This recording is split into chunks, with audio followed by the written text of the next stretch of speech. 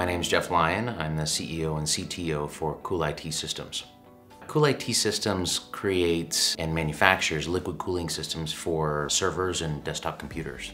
The demand has been increasing over time for faster and faster processors. With the higher power comes more heat, and the most efficient way to transfer it away from the processor is to put direct contact liquid cooling right on the chip. Today, if you were to open up a, a, traditional server, there would be an air heat sink. Our cold plate, as we would call it, uh, is mounted in its place.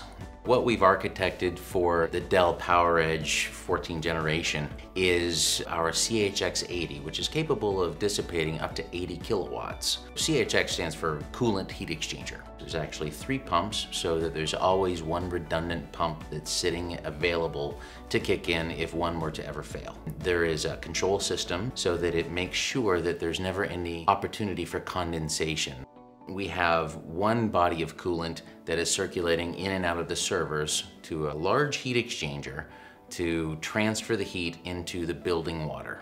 Some buildings have chilled water, which is okay because we can regulate using very cold water, which means you can use a little bit less of it. Or if it's going straight to a dry cooler or maybe an evaporative cooler, that warm water can actually be the sink for the heat to transfer out to the atmosphere.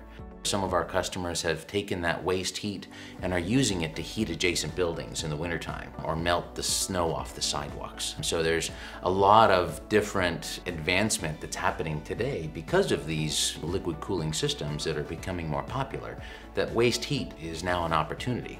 The simplicity of it is, I believe, its strength. Quite literally, it's bolt it in, plug it in, turn it on.